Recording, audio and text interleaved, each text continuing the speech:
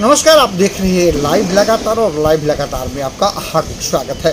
सबसे पहले मैं आपको बता दूँ कि आप अभी जो स्वास्थ्य सुरक्षा जो सप्ताह जो है, उसकी अवधि में अवधि को विस्तारित कर दिया गया है और वीकेंड लॉकडाउन को और थोड़ा सा सख्त कर दिया गया है। अब सबसे पहले आप जानने की कोशिश करें, मैं आपको बता दूँ कि जिस तरीके से शनिवार को और रविवार को, शनिवार की देर शाम तक जैसे लॉकडाउन लगाए जाते थे और पूर्ण लॉकडाउन संडे तक रहता था तो वो आज भी जारी रहेगा। इसके अलावा कई लॉकडाउन के नियमों में और बदलाव के भी संकेत आए हैं, लेकिन फ़िलहाल जिस तरीके से जो पूर्व की जो गाइडलाइंस थे, लगभग मिला जुला करके वही हैं। लेकिन अब जो है, हर रोज़ जो है, रात में करीब आठ बजे से लेकर अगले सुबह छः बजे तक पूर्णतः लॉकडाउन लगे रहेंगे। अब सबसे पहले ये भी आप जानने की कोशिश करें कि जिस तरीके से कोरोना के खतरा को देखते हुए सरकार और जिला प्रशासन जो है कदम में कदम मिलाकर चल रही है और एक तरफ़ लोगों को कैसे सुरक्षित रखा जाए यह सरकार और जिला प्रशासन के सामने चुनौती है।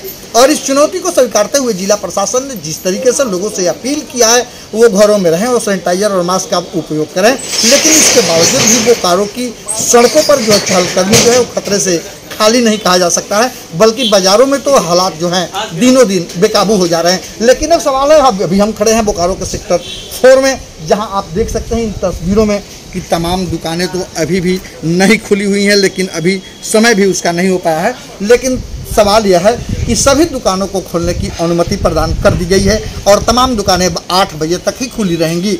और आठ बजे के बाद तमाम दुकानें बंद हो जाएँगी, फिर अगले दिन आठ बजे तक से दुकान खोलने की अनुमति रहेगी। अब इसके अलावा मैं आपको बता दूँ कि रेस्टोरेंट से लेकर के और निजी जो यहाँ के स्थानीय जो अपने ज़िले में चलने वाली बसों के भी परिचालन सामान्य रहेंगे, जैसे कि पूर्व में लॉकडाउन के नियमों में जो बताए गए थे।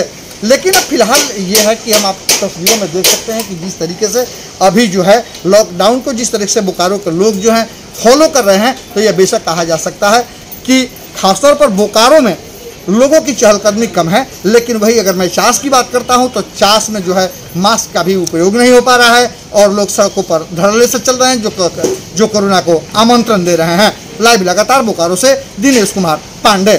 न्यूज़ अपडेट के लिए आप हमारे चैनल को सब्सक्राइब करें।